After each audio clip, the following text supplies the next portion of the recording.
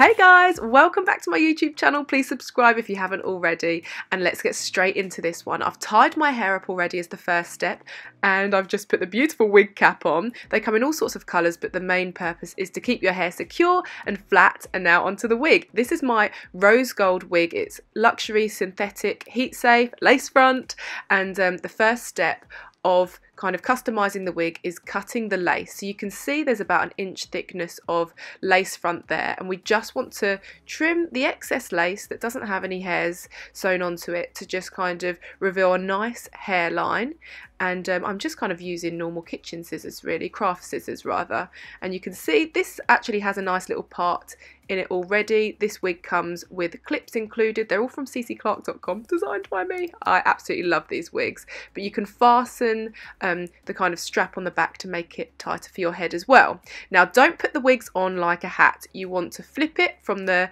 nape of the neck and kind of put your head into it if that makes sense and then flip it over because this is the most secure way to apply a wig and you can see it's nice and secure the hairline looks very dense so we're about to customize it to make it look more natural I'm using my Tweezerman and Huda Beauty tweezers to just pluck um, a hairline so it looks a little bit more sparse and natural. And here I'm just kind of combing forward some hairs to create baby hairs to make the hairline look really natural because we all have baby hairs and this is really part of making the wig look like it's your own hair. So they're kind of all over the place at the moment. We do need to lay them flat, but before that, I'm going to take some concealer and sneeze.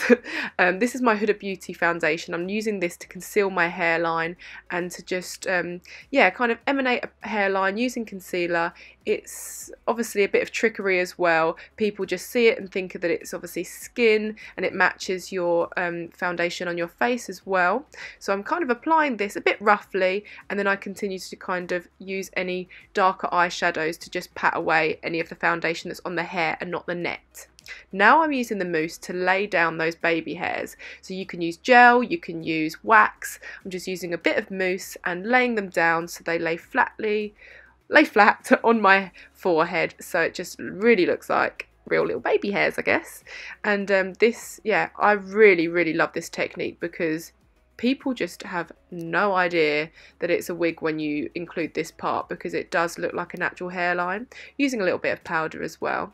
And yeah I'm just so pleased with how natural it looks but now for the next step I'm taking my I think these are Corioliss straighteners actually and I'm straightening this wig so this is synthetic however it's heat safe and I am just loving the Kim K straight vibes at the moment and look at the difference I am obsessed with this wig so yeah I absolutely love this. I hope this has helped you. Please do give this a thumbs up if this has helped you.